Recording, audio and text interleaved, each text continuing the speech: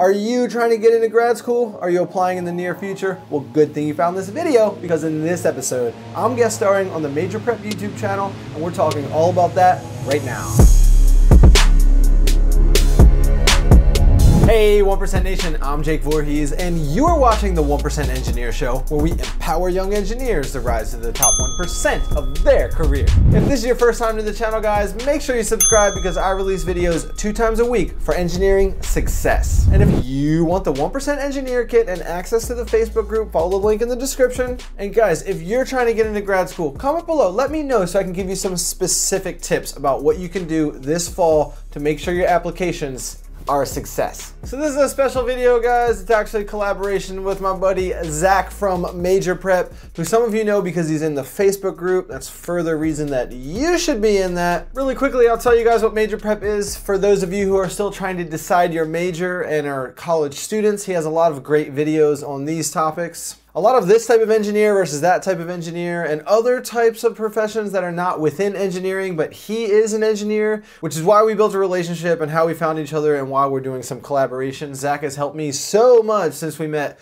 months ago and I reached out to him. I think his channel was below 20,000 subscribers and I had like just a few hundred and he's helped me out all along and he broke 2 million views on his YouTube channel lately, which is awesome. Congratulations, Zach. You rock. All the support to young people, college students really trying to figure out their major everywhere. So thank you so much.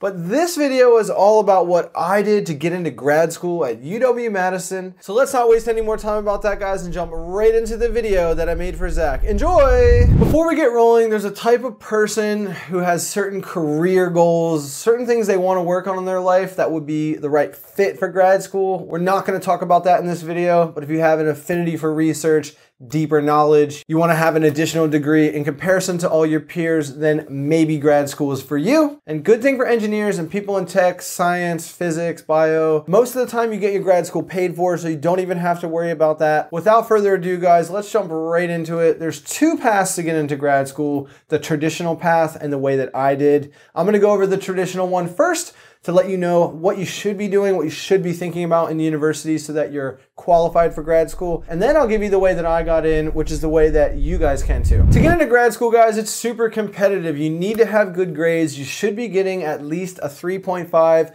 You should score well enough on the GRE, which is a graduate requisite exam. It's like the SAT or the ACT for grad school, but you want to get a pretty good score on that as well. So you need to be pretty sharp. You need to be pretty serious. It also helps to do undergraduate research in university so that it just looks better. You're distinguishing yourself from other students and the professors that may be accepting you into their grad program believe that you already like research, you're a part of that ecosystem, you know what you're doing, so you're not gonna freak out and quit.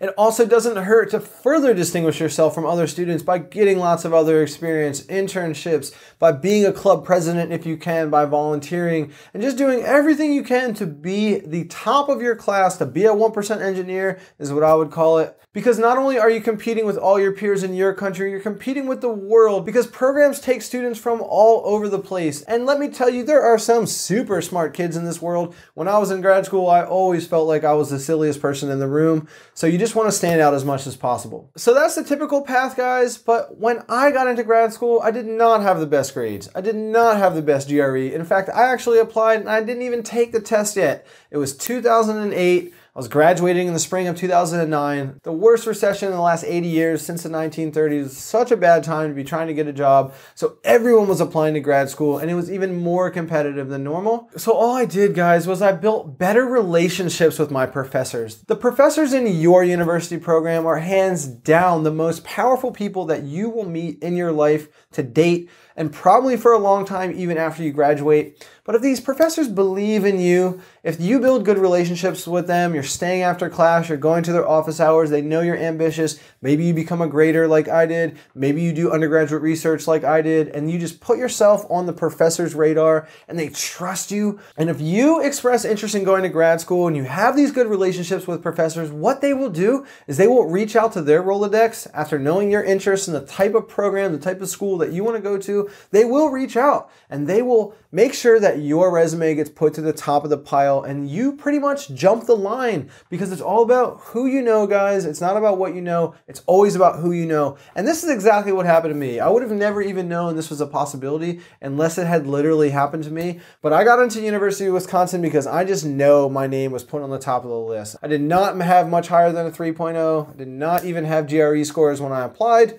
All the other schools that I applied to didn't even get back to me, but Wisconsin gave me a paid research assistantship. So you get the perks of being a grad student and you have a small salary and you have the master's experience and you have an advanced degree. So it's such a good thing for your career. And a lot of people like me never have the ability to add this to their resume if they didn't build awesome relationships with their professors. So that's my biggest advice to you guys out there who are in school right now and considering grad school. Take professors to coffee, stay after class, get good grades, put in that time, show that face, stand out from the other students, ask them to lunch, and make sure you're putting in extra time with the professors who are in the field that you think you want to apply to for grad school, and you certainly won't regret it. At the very least, these professors are going to give you awesome letters of recommendation, which is going to go further, but chances are they will pull some strings for you and you will get into programs that you otherwise would have had no chance of getting in if you didn't have these relationships. Comment below if you're considering grad school and ask any questions and I'll make sure I answer all of those. I hope you like that collab video video, guys, with Major Prep. If you did, consider subscribing because I release videos two times a week for engineering success. Check out another video, guys, maybe the nine study tips so that you can survive the rest of your fall semester. And as always, thanks for watching the 1% Engineer Show, guys, and stay hungry on your quest to become a 1% engineer. Cheers!